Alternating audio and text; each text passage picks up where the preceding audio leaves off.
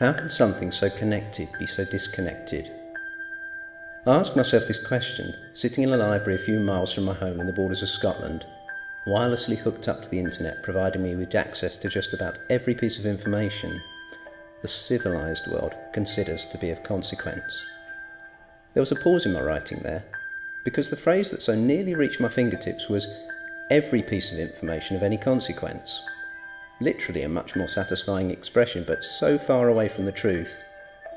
What I am able to access via the corporate controlled routers, switches, and servers that comprise the internet may be close to all the information industrial civilization has gathered in its short tenure on Earth, but it's a closed, self perpetuating network, as disconnected from the real world as its individual components will be from each other when the current eventually ceases to flow.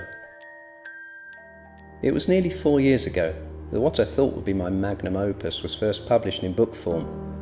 Not that I expected to sell a great number of copies of Time's Up, but along with its online incarnation and a slew of related articles, both from me and the friends, and some enemies, accumulated in the subsequent time, I did expect something to come of it.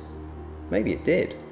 Maybe I've been looking in the wrong places, or perhaps the work that came about as a result is hiding in the cracks and beneath the floorboards of public awareness.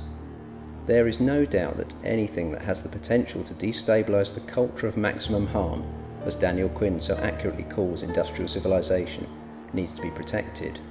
Nevertheless, the question that has come back to me by email, letter, word of mouth, and indirectly through the comments and thoughts on so many blogs and forums is one that suggests I am far from finished in my writing. That question is what can I do? This book is a response to that question. It's not the definitive response, it's barely an adequate response given the level of emotion with which some people have phrased the question, but it's the best I can do for now.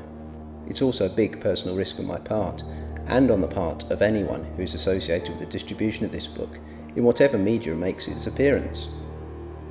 Over the last couple of years, my life and that of my family has changed.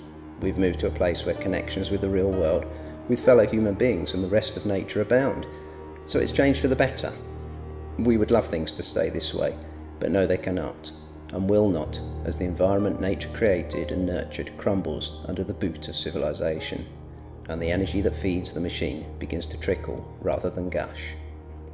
The publication and distribution of this book's content is a risk to our personal circumstances, but reflects the nature of the situation we are increasingly going to experience. It's also something I have to do. Undermining is something we're all going to have to take a part in, if we are once again to take control of our own destiny. And that raises the question of what undermining is. The simple definition is as good as any. Removing that upon which something depends for its strength. If you want to make a house fall down, then start removing bricks from its base. Eventually, if you remove enough bricks, the house will tumble to the ground. If the house is tall or top heavy, then you will need to remove comparatively fewer bricks. If the house already has weak foundations or substandard construction, then you might not have to remove very many bricks at all. The same principle applies to anything you wish to undermine. A wall, a political party, a corporation, an entire set of principles by which a population carries out its daily life. The way in which industrial civilization keeps us attached to its principles, such as the belief that economic growth is a good thing or that it's necessary for a few people to tell the majority how to live, or that having a well paid job is a natural human aspiration, is by ensuring civilised people are kept disconnected from anything that might provide them with an alternative view of what life is really about. This disconnection from the real world is achieved through what I've called the tools of disconnection. If we stay attached to the underlying principles of industrial civilization, then we stand little hope of surviving the next century as a viable species. But as long as we remain disconnected from the real world, then that is a very likely outcome indeed. The way to return civilized humanity to a state where long term survival is a real possibility is to reject the principles of industrial civilization and live as though we wish to have a future. The way to achieve this is by undermining the tools of disconnection.